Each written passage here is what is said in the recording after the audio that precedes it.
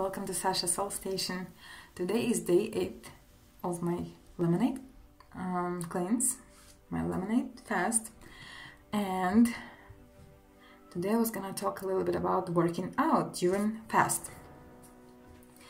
From what I've read uh, and what I've seen from other people who have done um, different fasts, um, you normally take it really easy on yourself. You don't work out, you just rest.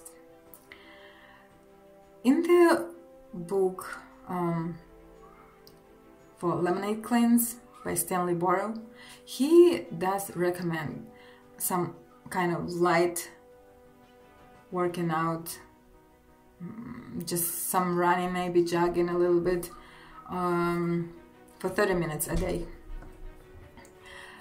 Me personally, I've never done, I've done this cleanse 10 times, more or less. And um, I have never worked out during it. Never. I've always wanted to, but I never went through with it. Every time I would think about it while I'm while I'm on it, even from day one, I didn't feel like doing it.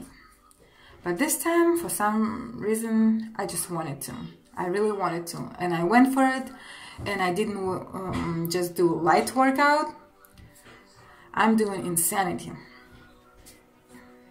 But I also must notice that I don't go, don't go full strength.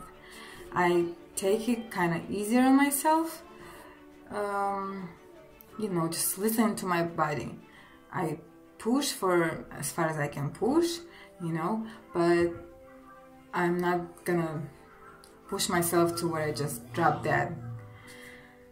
So that's where I am with my working out and my fasting.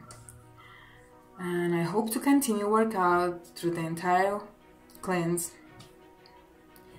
And um, that's all I was gonna say. Sorry. Um, thank you for coming. Thank you for watching.